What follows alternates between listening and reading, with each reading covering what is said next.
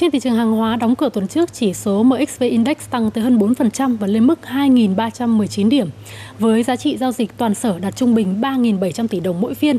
Diễn biến chi tiết xin mời quý vị đến với những phân tích từ biên tập viên Huy Hoàng. Xin mời Huy Hoàng. Vâng, cảm ơn chị Ngọc Trinh. Có thể nói rằng là xu hướng tăng được ghi nhận ở toàn bộ 22 mặt hàng chia thành 4 nhóm. Nhưng mà mức tăng mạnh nhất trong tuần qua là nhóm thị trường kim loại bao gồm bạc, bạch kim, đồng và quặng sắt giúp cho chỉ số MXV của kim loại tăng lên đến 2.153 điểm. Và đóng cửa tuần giao dịch trước thì là giá bạc kỳ hạn tháng 7 tăng 6,2%, giá đồng tăng 6,3%. Đặc biệt nhất là giá quặng sắt trên sở giao dịch Singapore tăng tới 14% lên 205,16 đô la mỗi tấn.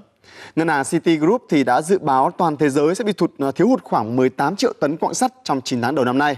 Nguyên nhân là do hoạt động sản xuất khai thác ở các mỏ quặng lớn không đạt như kỳ vọng và trong khi nhu cầu sắt thép đang tăng rất mạnh. À, tỷ suất lợi nhuận của hoạt động sản xuất thép tại Trung Quốc đang ở mức cao nhất trong 10 năm nên các tập đoàn lớn của nước này đang được cho là rất tích cực mua thêm quặng sắt để sản xuất.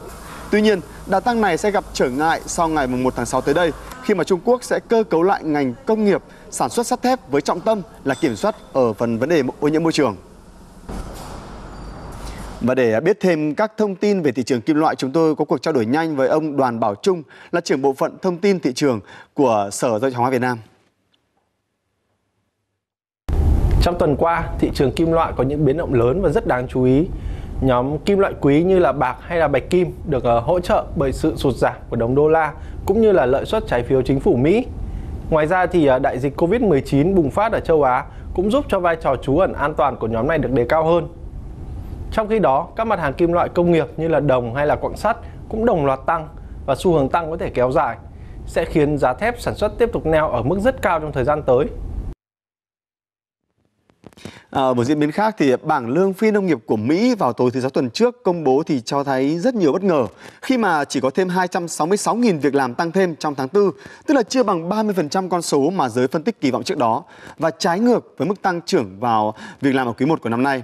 Tỷ lệ thất nghiệp ở mức hiện đang khoảng tầm ờ, tại Mỹ là 6,1%. Các chuyên gia thì cho rằng là các gói kích thích kinh tế của chính phủ Mỹ đang không khuyến khích người dân quay trở lại làm việc, ngay cả khi đang có rất nhiều cơ hội việc làm tốt hơn.